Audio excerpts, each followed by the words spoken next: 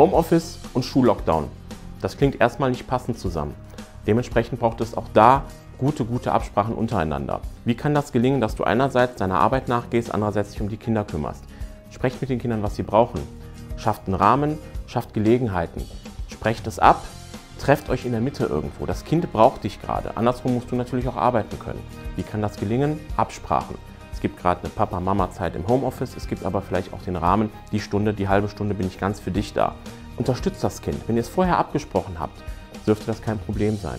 Ich weiß, es ist gerade schwierig, aber es geht allen so. Und am Ende raus, hey, wenn das Kind es gerade nicht hinbekommt, dann lenkt euch ab, macht was anderes, macht was Schönes, weil nur wenn man einen schönen Gedanken hat, kann auch der Schullockdown irgendwie überstanden werden. Und bald ist es ja soweit. Hoffen wir alle.